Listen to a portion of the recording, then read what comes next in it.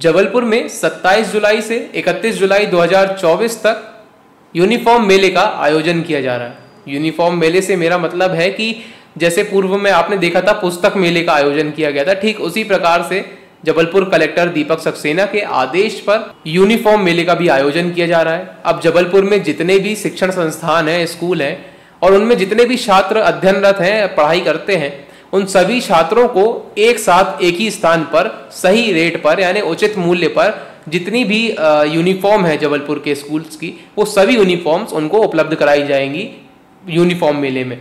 अब ये यूनिफॉर्म मेला कहाँ लगाया जाएगा? गारमेंट क्लस्टर के अनुसार।